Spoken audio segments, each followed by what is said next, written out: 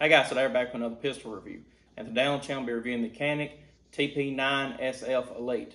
Stay tuned for this one.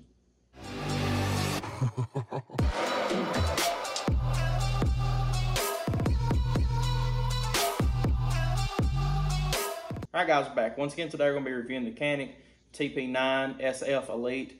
This is uh, one of the more popular uh, Caniks on the market. Uh, Canik has been a company now that's been coming up for a while. We'll go ahead and safety check it as you can see. Mag is empty, gun is unloaded, safety finger point check, and a little dirty, but it is safe. So, go ahead and get on with the review. Uh, like I said, Canik has been a uh, gun company that's been upcoming for the last five, uh, six years, something like that. Uh, they have maybe been a while, uh, around a little bit while or more longer than that, but they are a uh, one that's becoming a lot more prominent in uh, self-defense handguns, uh, competition handguns, just to name a few. And I'm starting to see more of them. This is actually the first Canik I've ever physically shot or uh, you know reviewed on the channel, and I'm glad I got the chance to. I uh, actually got this gun uh, lended to me to do a review on, and I appreciate that. But it's going to give you all my thoughts about it. So uh, price point on these guns, MSRP on Canik's website is 399. So it's going to be putting you in the same uh, position buying this new as about around a uh, Glock 19 Gen 4, uh, Gen 3, somewhere around there in normal times, uh, not Corona times because we all know how everything's going right now. But I like to keep this video relevant for later just in case if this stuff finally blows ever blows over. But you know, it's going to be putting you in the same uh, position as a used Glock. Uh, that being said, new gun versus used Glock, but we'll get into that a little bit later. So this pistol in itself is uh, very interesting. It kind of does remind you of the Glock 19 with the 4-inch barrel, 15 plus 1 round magazine. But uh, the main differences between this one and some Glocks I've seen is that this one's trigger is actually very, very well. So you have a tiny bit of take up, which is really not anything. I think it's just catching into itself. And then once you hit that wall, it really does feel like a competition pistol, being dead honest with you guys. Uh, it's gun's very accurate. Uh, what I have shot with it, uh, everywhere I was aiming, even speed shooting, I was hitting right on target, and I actually shot with this gun a lot better than I thought I was going to. A uh, few things with this gun, it actually has uh, a front fiber optic sight that is very small, so you can get some very pinpoint accurate uh, shots with it, which I like that a lot. Every single one of my guns, even if it's my Carry Glock 34, has the fiber optic front sight because I'd rather have uh, more precise shots than a uh, gun with night sights on it if I'm going to have a light in general on it already. This gun has a uh, Picatinny rail on the bottom so you can attach lights, lasers, anything you want to. Uh, it is also ambidextrous. You can uh, put the slide release on the other side if you need to, if you're left-handed. Uh, that being said, also it also has the slide catch, slide release on the right hand side. So if you want to shoot left-handed and slide release, you can. Has the takedown pins on both sides also. So this is pretty much a fully ambidextrous gun. And I like that because we have a lot of uh, left-handed shooters out there.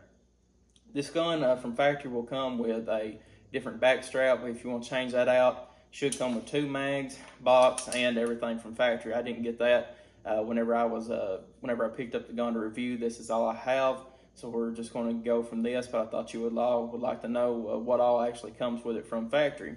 But like I said earlier, this gun has possibly the best single or uh, primer strike trigger that I've ever felt in any uh, primer strike handguns. Because like uh, whenever you're pulling it, like I said a minute ago, it very it has a very minimum take up to it, which you just have to get used to. But once you hit that wall, it's about the same pull as the 1911, if that means anything to you all. Uh, but striker fired uh, pistols all around, you know, are known to not really have that good of a trigger. Uh, I've kind of got used to a Glock, and I can feel how a Glock breaks. I know how they break, and that's how I train with Glocks. But uh, you know, once you get a different striker fired uh, handgun in your hand and you're trying to get used to that trigger, it kind of throws you off a little bit if you're used to Glock. But I uh, adapted to this one's trigger very, very easily. And once I figured out how it works, how uh, everything in it works, and like whenever you actually hit that wall is whenever you're getting ready to pull it. It's very, very light. I'd say possibly maybe even four pound, three and a half pounds, something like that's what it feels like to me. It's might even be less than three and a half pounds, guys, being dead honest with you. But um, very, very nice trigger in it overall. And I don't know if it's just because of how good the trigger was, but uh, I shot this gun a lot better than I was expecting it to. Uh, big point also, safety point anyway, it has a loaded uh, chamber indicator, which it's uh, it's actually more of a loaded chamber indicator up here, but it shows red if you have uh, the uh, trigger in line to actually be able to pull to strike the primer to go off. So whenever you pull the trigger, if there's nothing in it, the red will not show up.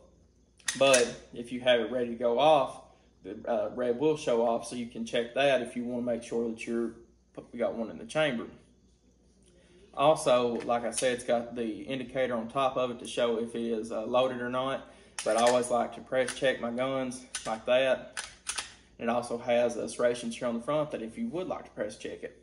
But uh, a few downsides of this gun, because you know, guys, I'm always trying to be dead honest with you. Uh, the serrations on the grip, I feel, should have been a little bit better. It's got some uh, bumps up here on front that help you. The gun didn't come out of my hand any time today. It didn't uh, slide out of my hand or, you know, get to where I would need to reposition my hand if that is what I'm trying to say. But, uh, you know, I feel like it could be a tad bit more aggressive. Uh, some people don't like aggressive grips. I do. But uh, that's one thing that I didn't like about it. And really, guys, I mean, I was looking all around, and even the grip on this feels very well. And that's something else that you see on a lot of upcoming pistols that they don't really have the grip down to where people would enjoy it that much. But now this one right here fits my hand perfect. And uh, a Glock 19, I've got bigger hands, and, and Glock 19 really don't fit my hand that well, but this is the same size as it, and I can get a pretty well full uh, hand grip on it, and it feels very well. Whenever I had first got the gun, the mag was not fully dropping, but now uh, the mag seems to be dropping free. Uh, not really sure how many rounds have been through this gun whenever I got it, but now that it has uh, wore itself a little bit, mags are free dropping, so I like that. But uh, besides that, though, guys, right from the factory where the sights are is where exactly it's hitting, so I always like that, not having to adjust the sights any. Uh, slide catch, slide release is easy to manipulate. Very uh, easy to let go if you all train like that. If you all train like you have to pretty much uh, slide it back and let it go, it's still fine there. But the grip uh, serrations or the serrations on the back of the slide are very aggressive. It's easy to get a good hold on them. Don't have to worry about your hand slipping off or anything. So I like that. Polymer guide rod, or Actually, no, that's metal guide rod. Sorry, it's just painted black. I thought it was polymer. So I like uh, metal guide rods in itself too. Uh, even even though polymer guide rods really have seen no bad, uh, you know, use in them, I guess you would say. Like I mean, I've had until how many Glocks with polymer uh, polymer guide rods in them, of them's ever give me a problem. I still like uh, metal guide rods and a handgun. But now uh, this one works perfect, guys. Never had a single failure, never had a single uh, failure to extract, failure to feed, anything like that. It's just a pistol that works really well. But one of the only things about it is that in this price point, you're looking at a used Glock.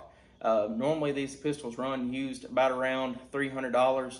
Uh, that's in normal times, not Corona times. Now, these right here, from what I can tell, are running uh, about around $400 still even used because these are very popular pistols and they work very well. And that's, uh, you know, a name kind of speaks for itself in some points, but a name can also hurt the company. If it's not very well known, it won't be as uh, well recognized, I guess you would say. If you're in a gun store and you see Canik and you see Glock, and well, everybody knows Glock, everybody knows Smith, everybody knows Colt, somebody's more likely to pick up the Colt, Smith, or Glock and play with them a little bit more than whenever they see a Canik because it's not a name that is as well known as, say, Glock, Smith & Wesson, SIG, anything like that.